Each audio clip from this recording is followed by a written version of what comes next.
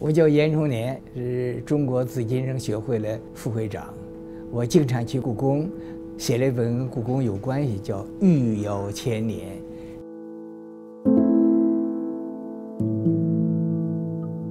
我们中国对人类的文化做出巨大贡献。从哪开始说最清楚、最动人？我想瓷器。那么瓷器很多，那更漂亮的、更精美的是皇家的瓷器，呃，用的投入大，呃，工艺精，呃，成本高，啊，一件件都是国宝精品，最能反映我们一千年以来中国瓷器的发展和成果。宋朝有瓷器了，龙泉窑的青瓷。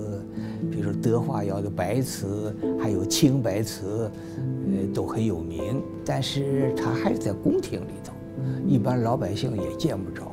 元朝就出现青花瓷，元朝青花就两个色，就是蓝色和白色。严格说就是蓝色，其他颜色烧不出来。到了明朝就不一样，五种颜色：红的、黄的、蓝的，啊，青的。所以明朝呢有五彩瓷，就五种颜色，那就很漂亮了。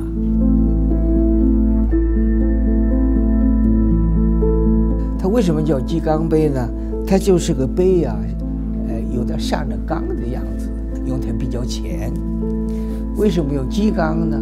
这个图案呢主要是鸡啊，两只大鸡，一只公鸡，一只母鸡，三只雏鸡小鸡儿。这个杯做什么的？据专家言是喝酒的，一对儿一定是两个人喝。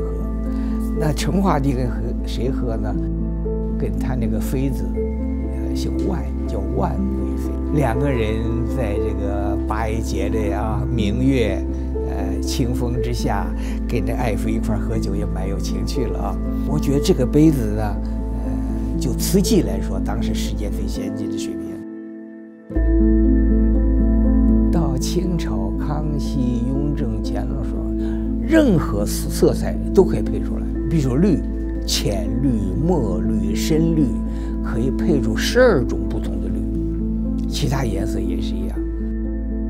这个瓶呢是雍正的，这个瓶啊，这色彩画的非常自然，你看上就幅油油画一样。实际上是在瓷器上画的。它这个瓷器画有个特点。我们看的画画就画上红柳，比如牡画个牡丹花，画的红的，花蕊是蓝的、黄的，呃，比如说绿叶儿，看得清清楚楚的。瓷器不是的，那个绿的呀，你画上又看不出是绿颜色的，红的画上也看不出来，啊，那花蕊是黄的也看不出，但是凭着非常高的技艺画上，一烧，五彩缤纷就了解的瓷器的知识，呃，御窑的知识，呃，对于提高我们自己的文化素养，对下一代的培养教育，都是必做的功课。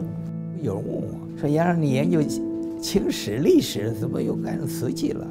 哎，瓷器也是历史啊。